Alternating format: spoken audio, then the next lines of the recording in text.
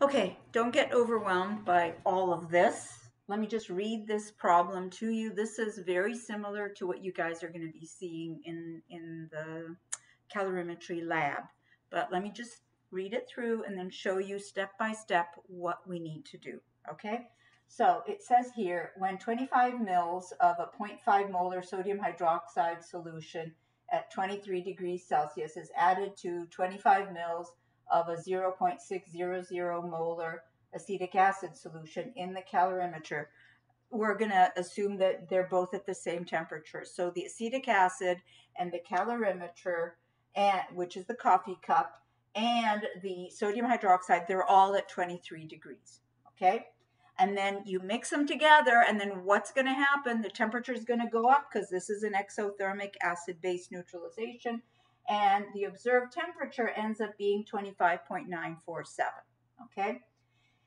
In another experiment, we figured out the heat capacity of that coffee cup calorimeter to be 27.8 joules per degree Celsius. Remember how I told you in the previous video how you can figure that out with hot water and cold water and solve for C. Okay, so we already did that. That's given to us. Uh, they're telling us to assume that the specific heat of the solution is exactly the same as water, same as water, and they're giving us the density of the solution as 1.02 grams per mil. If they don't give you the density of the solution, you just assume that the solution is just like water. So for you, those of you who are going to be doing the, the pre-lab questions, um, and they don't give you the density of the solution, just assume it's one gram per mil, just like water is, okay? What do they want you to do? They want you to write the thermochemical equation with the molar heat of neutralization. What does that mean? It means that you need to first figure out how much heat is evolved using this. And then once you figure that out, you are going to figure out per mole how much heat is being produced. Well, you, this is also a limiting reactant problem. So it's several steps that are involved.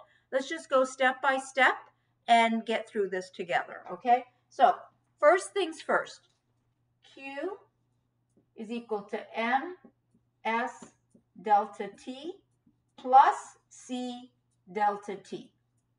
Remember what I told you guys from the previous video, okay? What is the mass of the solution? Well, I know that I've got 25 mils and 25 mils. So you add them together, that's 50 mils. Now, the density is 1.02. So 50 mils, remember it's going to be 50 mils, 50.00 mils, and then use the density as a conversion factor, 1.02 grams per mil, right? 50 times 1.02 I know what it is, but I'm just double checking. Okay, 51. Good. So we have 51 grams. Cancel out. So our mass is 51. The specific heat, they told us to use the specific heat of water, which is 4.184 joules per gram degrees Celsius. What would the delta T be? All right, we have initial temperature was 23, final temperature was 25.947. So delta T is 25.947 minus 23, which is 2.947. That's your delta T. And it's the same delta T for the calorimeter also. So then we're going to go plus What's the um, uh, C value is right over here. 27.8 is the heat capacity of the calorimeter. So we're going to do 27.8 joules per degree Celsius times 2.947 degrees. Okay?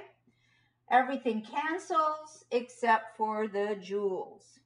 So pick up your calculator 51 times 4.184 times 2.947. Press equals, get a number, and then 27.8 times 2.947. Press equals, get a number, and then add these two together. Okay? Uh, you do that, I will do it also, and hopefully we all get the same answer. seven. Okay, so I've got for this six to eight point eight. Okay, and then for this one I have two seven point eight times. Oh God, I just pressed subtract. 27.8 times 2.947 and I have 81.9. All right, so I'm going to add this to the 628.8 and I get 710.7. I don't know how many uh, sig figs have if I've just been, yeah, yeah, that's fine. I'll go 711. 711 joules. Okay, we're not done. We're just done with this part. Okay, so now we know that this reaction with this amount of acid and this amount of base is going to produce 711 joules. Great. But they want the thermochemical equation. They want per mole. So when we write a thermochemical equation, we're going to have to know how much do we actually have here. So we've got 25 mils of a 0.5 molar sodium hydroxide. Let me erase all of this. You keep keep this number. We're going to be using it a little later on. I have this whole problem in my notes, so you do too. So I can erase it. When we write, remember when we write a thermochemical equation, we write, so we're going to have sodium hydroxide. Uh, this is an aqueous solution, AQ. Remember, we have to always write down the phases, plus acetic acid, CH3COOH, AQ, will give you sodium acetate, NaCH3COO, AQ, plus water delta H equals. This is what will make it a thermochemical equation, or Q is equal to. Now we need to know what to put here, all right? Um, and we can't put the 711 because the 711 wasn't for one mole of this reacting with one mole of this. The 711 was for 25 milliliters of a whatever that molarity was, okay? So we need to find out which ones are limiting reactant so that we know how many moles are actually reacting here. So we've got 25 mils, so 0.025 liters of a 0.500, 0.500 moles per liter. This is our sodium hydroxide. And then we've got for the acetic acid, the acetic acid, how much are we using? Also 25 mils, uh, but this is 0.6 moles, molar. So 0.025 liters times 0.600 moles per liter. All right, so do the math. 0.025 times 0.5, and you've got 0.0125 moles of sodium hydroxide. And for the acetic acid, 0.025 times 0.6, and you've got